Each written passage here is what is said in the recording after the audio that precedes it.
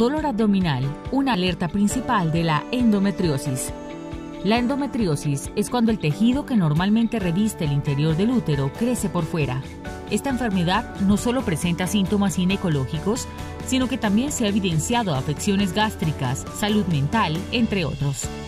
Este hallazgo se obtuvo del estudio Perfil de Mujeres con Endometriosis en Latinoamérica y España, donde participaron 1.378 mujeres de 28 países.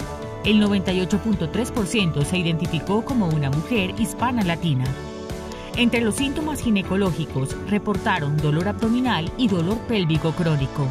La mayoría de las pacientes presentaron una escala de dolor del 8 al 10.